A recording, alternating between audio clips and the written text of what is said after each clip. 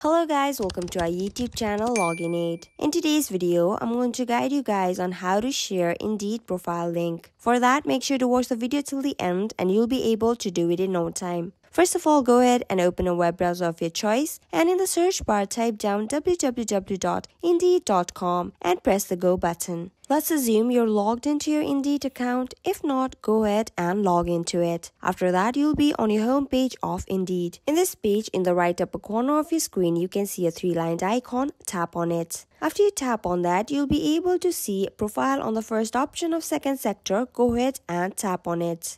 Tapping on it will lead you to your profile page. I'd like to inform you guys that you can only share your resume of Indeed and not the profile link. So you'll have to have a resume in order to share the resume link. So you'll be able to see all your resumes in the resume sector in the second sector of your profile page. Go ahead and tap on any resume you want to share the link of. After you do that, you'll be redirected to your resume page of Indeed. In this page, in the right upper corner of your screen, you can see a three dotted icon beside searchable. Go ahead and tap on that icon. Then a menu like this will pop up on your screen. In the menu, in the third option, you can see share a link to my Indeed resume. Go ahead and tap on it. Then a menu like this will pop up. On the first option, there's copy link tap on it, then the link will be copied. On the second option is email link. You can go ahead and tap on it and you can email the link to other emails. Just go ahead and tap on it. After that, you'll be able to send your resume link to others via email. Moving on to the third option, you can see preview in new window. Tapping on it will show you how your resume will look like. So you can even download PDF by tapping on download PDF on the bottom of this page.